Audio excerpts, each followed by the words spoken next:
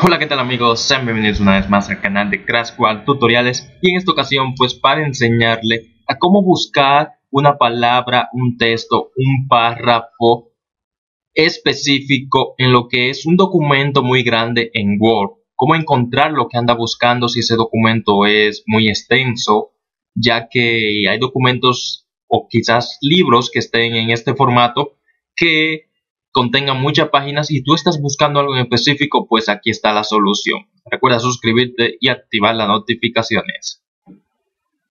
Bueno, prácticamente lo primero que debemos de sesionarnos es que estemos en inicio.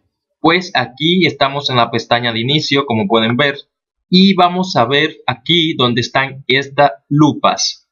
Como lo pueden ver, estas lupas dicen buscar y se puede hacer mediante pues el atajo control B. Presionamos la letra control y B. En caso de que no puedan ver las lupas, que son como dos binoculares, lo que estamos viendo aquí, pueden presionar esta tecla en su documento de Word. Vamos a buscar algo, un ejemplo, y le damos, clicamos en él y como podemos ver aquí apareció algo que dice navegación. Vamos entonces a buscar algo que pues posiblemente pueda aparecer en nuestro documento o que estaremos buscando. Entonces vamos a dar, a dar enter. Como podemos ver aquí dice no hay coincidencia cuando busqué esto.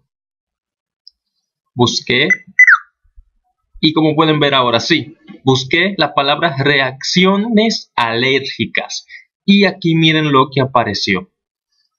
Bueno, prácticamente esto es lo que hace este, esta herramienta eh, que nos permite Word es buscar dentro de documento cosas específicas que queremos encontrar y no estar eh, bajando con pues